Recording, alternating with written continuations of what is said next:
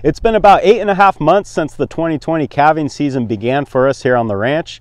And that means that the calves are now starting to get old and they're actually ready to enter the next phase. It's time to say goodbye to mama and hit these mangers and start gaining some weight. That's what we're doing today on Farmer Tyler Ranch.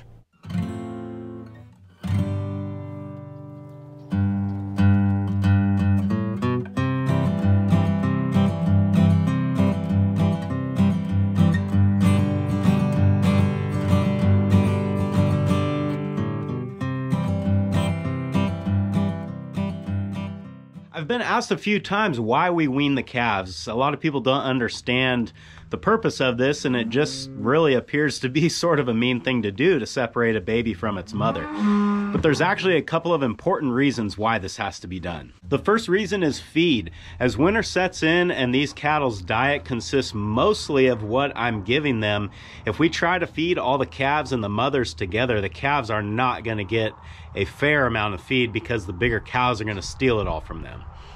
Not to mention the fact that the cows at this stage in their life need to be on a maintenance diet, whereas we want the calves to grow and to be on a grow diet. And it's virtually impossible to do this when the animals are housed together. Another reason is milk production. The cattle in this herd are going to start having their calves for the 2021 season in about four months. So, in that amount of time, they need a chance to dry up and just sort of kind of take it easy for a little while before their new calves come in the spring and we got to do this all over again. The calves are big enough now where they can drink every drop of milk that mother is producing, and that actually puts a lot of stress on her body as she tries to keep up with that need. So now that the calves really don't need the milk, it's more of just something that they want, it is the time for them to separate, get away from mother, let her recover, and now with their newfound appetites, they can go up to the mangers and eat all the hay that I can give them. This year, however, there is an exception. Not every single calf out here is gonna get weaned. This little girl right here that was only born a couple, eh, maybe three weeks ago now, uh, sort of a surprise and definitely off schedule for this herd. She'll stay with mom. Um, I think that we will put the calf and the mother in with the butcher steers and the rest of the weaned calves. For now, that's gonna be fine because it's not muddy out here yet. When it starts to get muddy, we might have to make some changes, but that is the plan, at least for today. I've already successfully made my mad dash out to the gate to lock the herd in the main corral here. And as you can see, a couple of these cattle are just almost too cooperative and have already walked back in here in the working corral. So in order to get this all done, I've got to go and bring the entire herd in here and then we can start separating.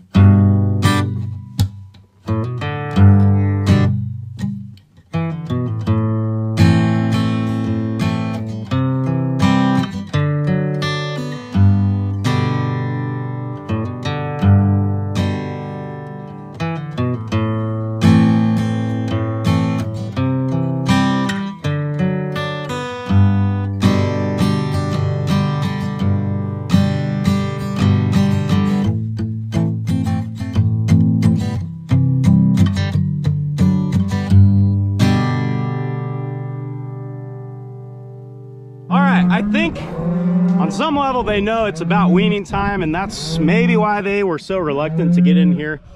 Part of it also was that there's a little bit of hay in this manger here and they were all kind of stopping and trying to eat there. That certainly didn't help, but we got them all in here except for Hank and the new calf. But Hank and the new calf are gonna go into the little pasture with the butcher steers. So rather than try to bring them in with everybody else, which I really don't wanna do, especially with the calf, there's a gate into that little field and I think we'll just try to run them both into there and I will try to get number 13 back out there with her calf as soon as I can and hopefully that'll settle everybody down. Easy.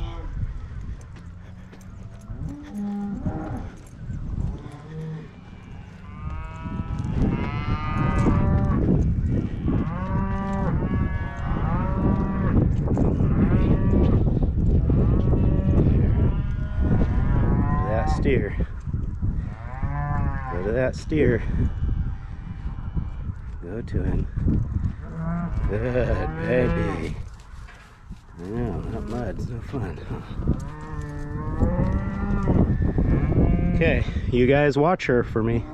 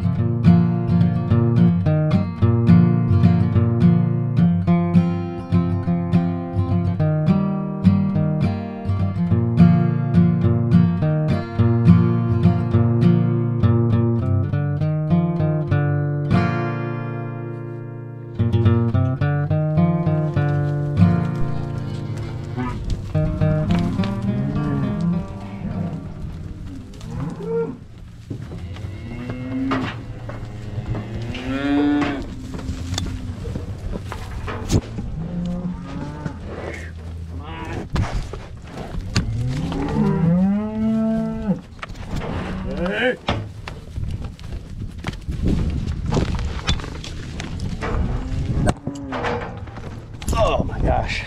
Cannot believe this didn't get stepped on. Hey, get out of here! Okay.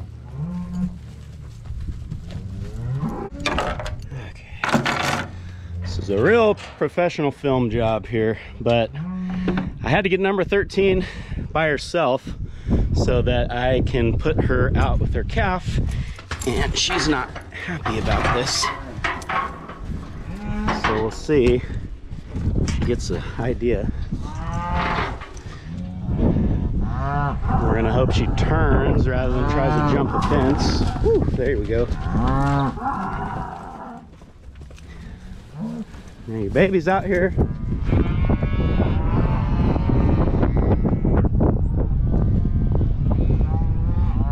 Oh, we got a reunion. What a beautiful thing.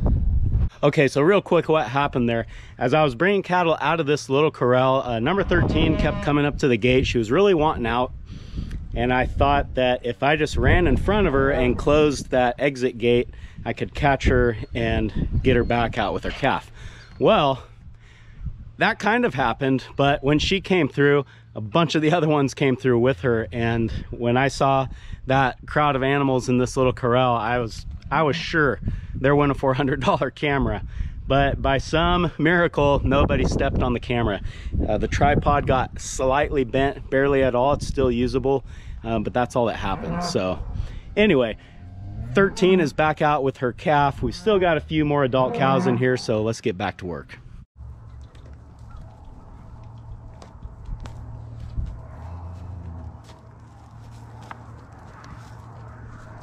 You are, just is that as fast as we go there?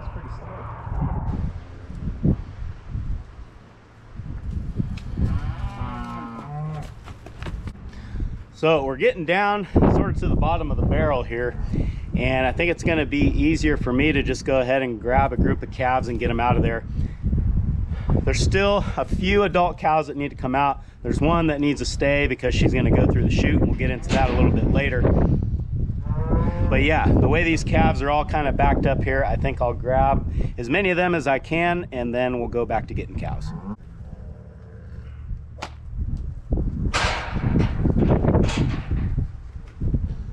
I'll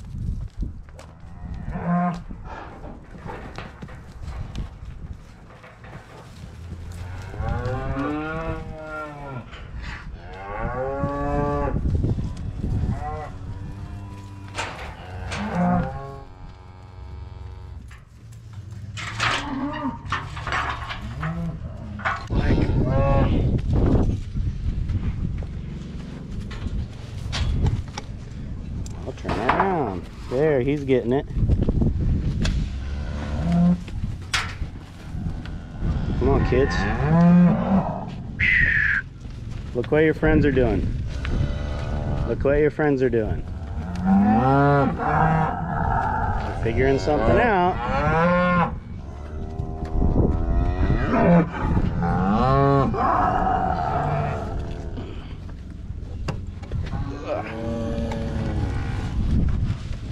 Hey, boy.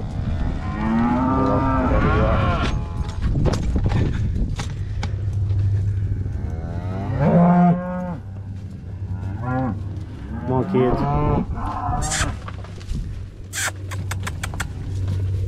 Turn. How about just you? I know you know the way out. Now you go. Alrighty. Lumpjaw, you gotta stay. Sorry. But you can go. You, you. Go on, you two. 52 back there on the barn. She's facing the right way. So if we kind of can get this calf to move, maybe she will go forward. That. Now we can get in here. All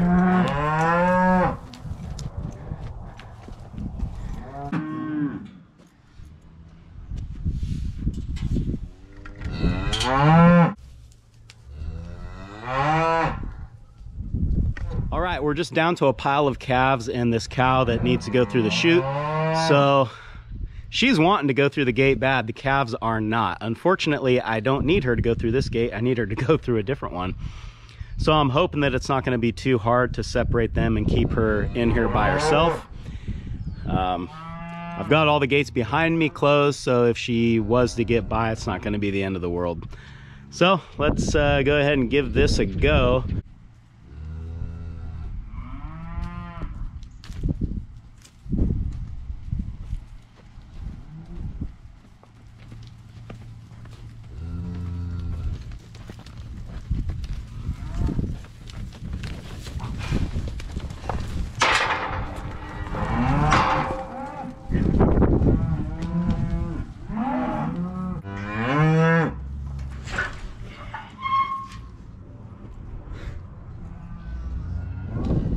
Morning, guys.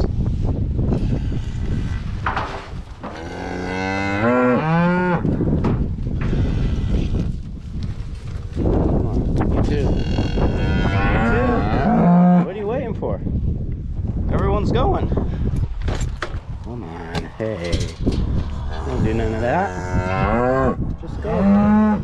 Just go by. It's okay. Here. Here.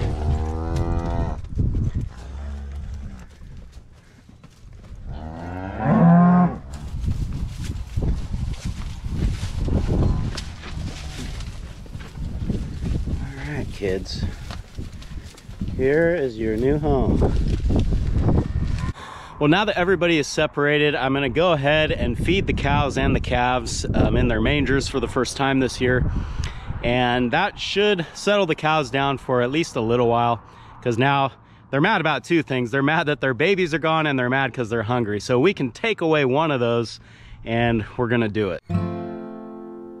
I have to say, this haystack is making me a little bit nervous. I gotta climb up there and I don't know how well it's gonna translate to, uh, to camera, how far that stack is leaning.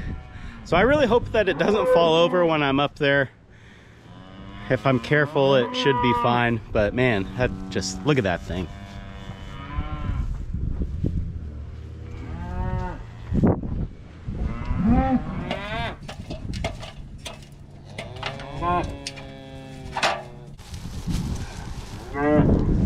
All right, well, that's the leaner there. It doesn't look as bad up here. So I guess we're just gonna do it.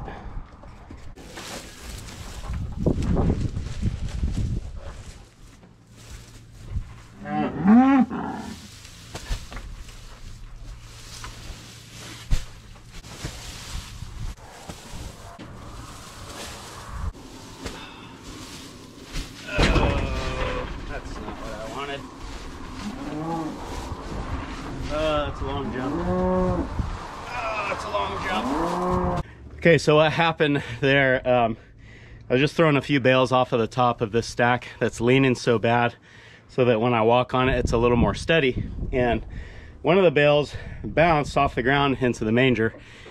And I'm not ready to have hay in there just yet because um, if there's only one bale in there, the cows all swarm on it and they're a lot more likely to break something in the manger when that's going on. So that's why I had to jump down there to pull that bale out before they screwed something up. And I did. So all's well that ends well. Let's uh, let's get some hay down in that manger so they can eat.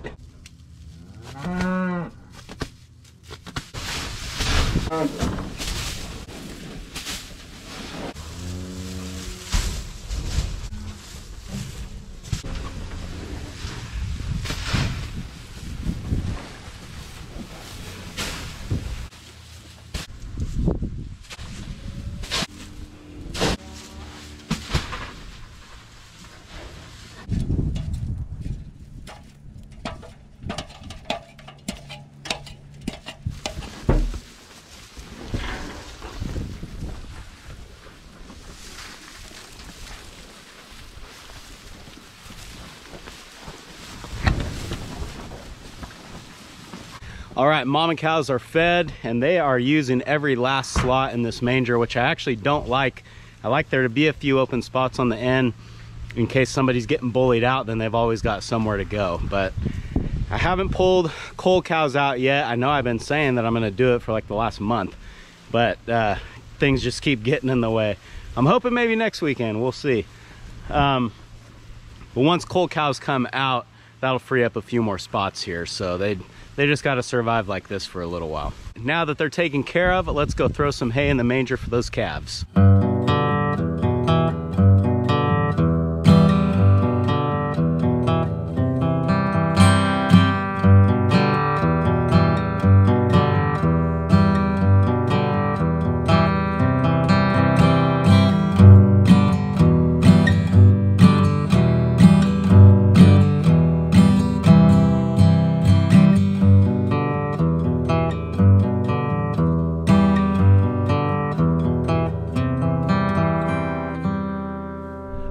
Ago on the ranch, I started doing what is called fence line weaning, and that is exactly like what it sounds.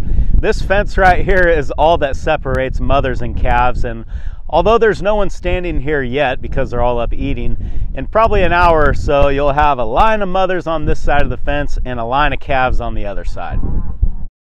The fence will still be separating them, so they are still being weaned, but they're able to touch noses through the fence and sniff each other. And it's thought that this really eases the transition and minim minimizes the stress on both mother and calf. This is good not only just because it's the nice right thing to do, but it also is going to be a lot better for the calves as far as keeping their immune systems in top shape because weaning is one of the most stressful times in their lives and one of the times when they're more susceptible to catching different sorts of diseases. So I feel that doing it this way, it's easier on the animals and it's better for them. Everything is quiet out here now, but you can rest assured that in about 20 or 30 minutes, when all the hay's cleaned up at the big manger, there's gonna be a racket out here and it'll last for about three days. We always say it takes three days to get the bawl out. Thanks for hanging out with me today, guys, and I hope I'll see you again on Farmer Tyler Ranch. Thank you.